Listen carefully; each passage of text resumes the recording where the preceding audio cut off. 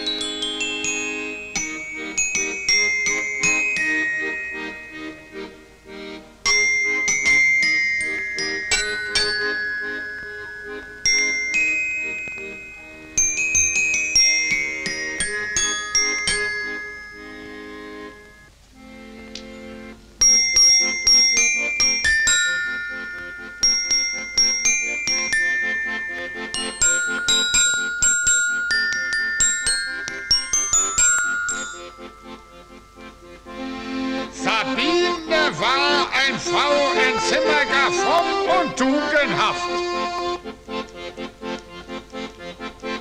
Sie diente immer treu und redlich bei ihrer Diensterschaft. Bis zu einem bestimmten Tag. Da kam aus treuen Wietzen ein junger Mann daher. Falsche Hoffnung. Er wollte so gerne Sabine besitzen und war ein Schuhmacher. Ein Anbeter, ein Proletarier. Die Not kommt rein, sein Geld, das hat er ganz versoffen, mein Schnaps und auch mein Bier. Prost, Prost, Prost. Da kam er zu Sabine gelaufen und wollte welches von ihr. Da machte er so. Sie konnt ihm keines geben, denn keines war zur Stell. Da stahl er ihrer Dienerschaften sechs silberne Esslöffel.